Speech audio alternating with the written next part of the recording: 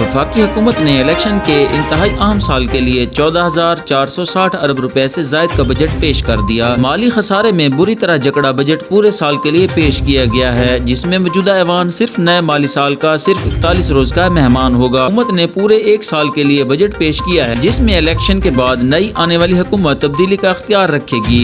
Budget दस्तावेजात के मुताबिक माली साल दो हज़ार तेईस चौबीस के लिए बजट का मजमू हजम चौदह हज़ार चार सौ साठ रुपए है। गुजशत माली साल के बजट का तखमीना नौ हज़ार पाँच सौ दो अरब रुपए लगाया गया था। आइंदा माली साल का बजट गुजशत माली साल से चार हज़ार नौ सौ अठावन अरब रुपए ज़्यादा है। यानी बजट का हजम एक साल के अंदर अंदर चौंतीस फ़ीसद बढ़ गया है, जो एक तहाई से भी ज़्यादा है। आइंदा माली साल में बजट अखराज पूरे करने के लिए तमाम बोझ टैक्स अदा करने वालों पर डाला गया है। इस हवाले से बात करते हैं हमारे सीनियर तजियाकार जनाब के वी कंडियार से। जी के वी कंडियार, बताइएगा बजट के हवाले से क्या कहते हैं? क्या?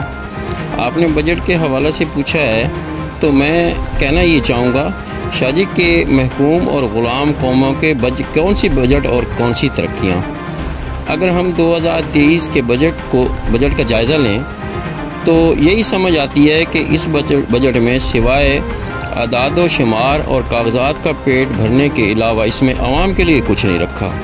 मतलब ये है कि हमारे पास पैसे तो हैं नहीं जैसे न नौ मन तेल होगा और न राधा नाचेगी। तो दूसरी बात ये कि जब बजट में पैसे ही नहीं हैं तो आवाम को रिलीफ कहाँ से मिलेगा? अगर हम हुकूमत के जारी करदा आदाद शुमार को देखें तो हमें समझ आता है कि हुकूमत ने टोटल चौदह हज़ार चार सौ साठ अरब का बजट पेश किया है, जबकि कुल मिलाकर हुकूमत को आमदन होनी है पचहत्तर सौ छत्तीस अरब रुपए की। तो शायद फिर मेरी रियाजी कमज़ोर है या मुझे समझ नहीं आती कि बकाया का जो खसारा है, उनहत्तर सौ अरब तो ये कहाँ से आएगा? अगर हम बजट के दूसरे पहलू मतलब तालीम और सेहत को देखें तो सिवाय मायूसी के और कुछ नज़र नहीं आता। शाहजी हमारी हालत ये हो गई है कि ना हमें आई एम एफ़ कुछ दे रहा है और न दीगर दोस्त ममालिक हमारा कोई मदद कर रहे हैं। मीशत का ज़्यादातर इहसार बैरून मुल्क पाकिस्तानियों की भेजी जाने वाली रकम पे होता है, जो कि उन्होंने वो भी भेजनी बंद कर दी है या कम कर दी है। और हमारा वज़ी अजम बैरून मुल्क सरमाकारों को पाकिस्तान में कारोबार करने की दावतें और संदेशे दे देकर थक गया है। मगर वो शायद ये भूल गए हैं शाहजी कि किसी का कबूतर पकड़ने से पहले पहले अपना कबूतर उड़ाना पड़ता है। जब हम अपने सरमाकार को मतलब जब हम अपने सरमाकार को नाजायज़ टैक्सेस और रिश्वत की चक्की में वो पीस रहे हों तो बैरून मुल्क से भला कौन कारोबार करने आएगा कौन सरमाया लगाएगा? तो लिहाजा शाह जी मेरी दानिश में 2023 और 24 का जो बजट है वो इंतहाई फरसूदा तरीन बजट है। नया बजट अवाम को रिलीफ फ्राहम करेगा या नहीं इस पर भी बहस जारी है। इस पर मजीद बात करते हैं सफदर हुसैन आसिम से। जी सफदर हुसैन आसिम मौजूदा बजट के बारे में आगाह कीजिएगा। जी शुक्रिया सामल न्यूज़ नेटवर्क। आपने बजट के हवाले से बात करने के लिए मौका दिया। मैं इस हवाले से सिर्फ़ इतना अर्ज़ करूँगा कि कोरोना की आमद के बाद जहाँ पे पूरी दुनिया में महँगाई का एक सैलाब आया, वहाँ पाकिस्तान भी उससे मुतासर हुआ और उसके बाद महँगाई का ना रुकने वाला सिलसिला चलता रहा। हर बजट में आवाम को लोलीपाप तो दिया जाता रहा। सबका तारीख इंसाफ की हुकूमत ने तीन बजट पेश किए 2020 19 2020 2020 21 और 2021 2022 उसमें आवाम को कोई खातर खा रिलीफ न दिया गया, बल्कि कोरोना और महँगाई का आलमी सतह पर रोना रोकर आवाम को ठगाया जाता रहा। पीडीएम की हुकूमत आई, मैं बगैर किसी मतलब सियासी वाबस्तगी के गैर जानबदार तौर पे कहूँगा कि दो बजट उन्होंने पेश किए। उनमें पिछला साल का बजट भी हंगामा राई की नज़र हुआ और जल्द से जुलूस रैलियों के हवाले से कोई ख़ास किस्म का इजाफा आवाम को रिलीफ देखने को नहीं मिला।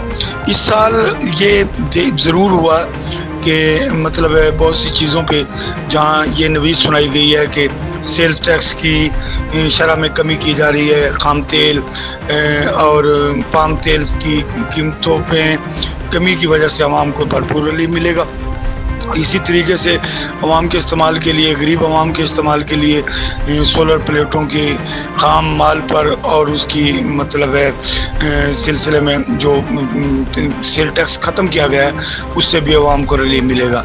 रही बात सरकारी मुलाजमन की तनख्वाहों में पैंतीस फ़ीसद इजाफा तो मैं ये कहने में भी हक बजाना हूँ कि तारीख इंसाफ की तीन बजट पेश करने वाली हुकूमत ने एक साल तो बिल्कुल ही एक पैसे का भी इजाफा नहीं किया और दो बजट में सिर्फ़ दस दस फ़ीसद बजट बढ़ाकर सरकारी मुलाजमीन को के ज़ख्मों पे मरम रखा गया।